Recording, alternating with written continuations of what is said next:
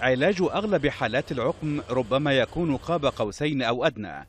هذه المرة عبر خلايا الجلد بحسب ما أعلنت مؤسسة الخصوبة الإسبانية وجامعة ستراتفورد الأمريكية في تقرير علمي نشرته مجلة نيتشر.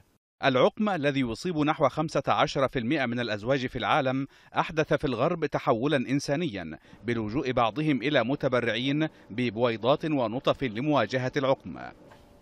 وكانت أبحاث في اليابان وبريطانيا نالت جائزة نوبل عام 2012 في مجال الخصوبة ألهمت المؤسستين الأمريكية والإسبانية.